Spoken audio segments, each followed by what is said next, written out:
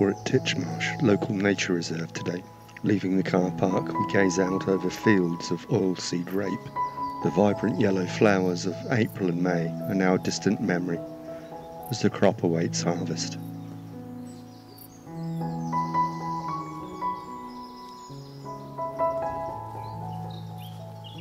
And behind the hayfield stands Aldwincle Church, now no longer a place of Christian worship, but a place where weary travellers can find a bed for the night and to be served breakfast by an enterprising farmer to start their new day.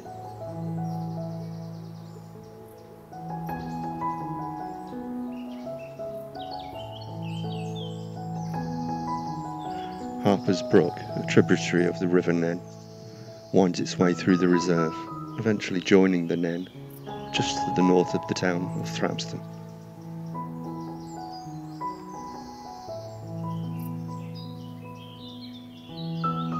Harper's Brook is home to several species of fish.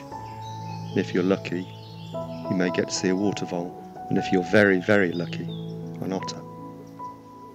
The day is cloudy, hot, and humid as the summer heat wave continues, with only a slight warm breeze.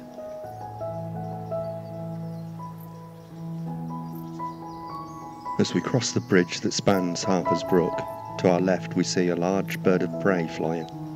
It's a buzzard, and it's just made a kill, or it could be roadkill, as buzzards eat carrion too.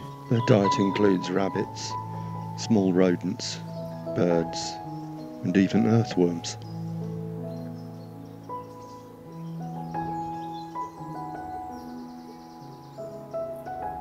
Walking a little further down the path reveals that breakfast is a rabbit. As we pass Aldwincle Lake and Thorpe Lake, we see grey heron. This one preening.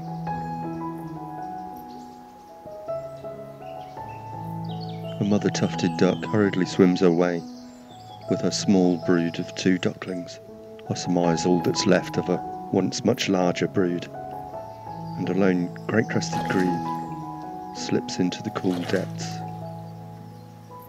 We reach the River Nen, which rises in Northamptonshire, then flows through Northamptonshire, Cambridgeshire, Norfolk, and ends its journey at the Wash, and as you can see, is very popular with pleasure craft of all shapes and sizes. The riverbank is covered with Himalayan balsam, an invasive species but a good source of nectar, so it attracts the bees, sometimes to the detriment of our native plants. Also along the riverbank, beautiful male banded demoiselles fight for territory, and red soldier beetles forage among the flowers.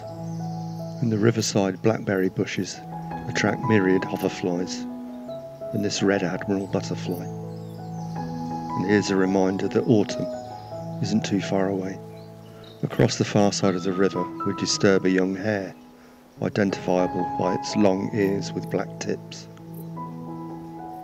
And a little further on, a creche of recently fledged young grey heron with their punk hairdos. Smaller birds are conspicuous by their absence, preferring to lay low during the molt, but we did see this beautiful male greenfinch, and it's good news that their numbers seem to be on the increase and we happily sit and watch this chiff chaff feeding only a few feet away from the hide window,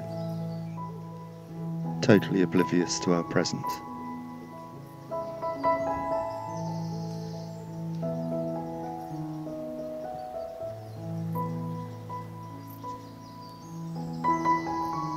Now joined by a juvenile blue tit.